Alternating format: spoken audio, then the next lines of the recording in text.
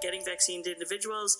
We've talked also that it's not a um, cure-all. It doesn't automatically mean you can do everything that we did before. Um, so the CDC has come out with recommendations specifically stating after you are two, you are at least two weeks after your second dose of Moderna and Pfizer, or two weeks after your single dose of Johnson and Johnson, individuals can visit with other fully vaccinated people indoors without wearing masks or physical distancing.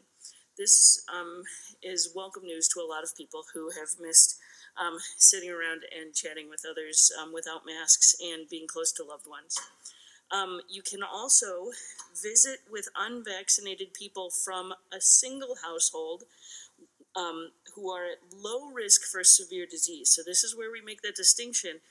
It's not for individuals, though, who have underlying health conditions or who may still potentially get a, a serious um, disease and without, um, so you have to be careful.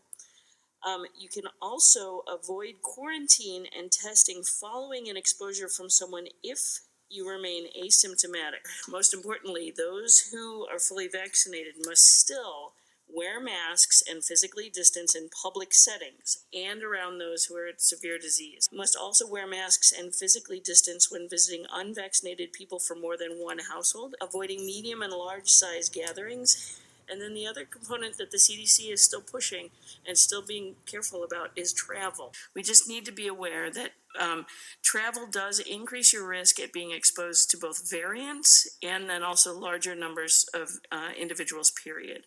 And so just because you're fully vaccinated, um, if you don't need to travel, really, the recommendations are still not traveling.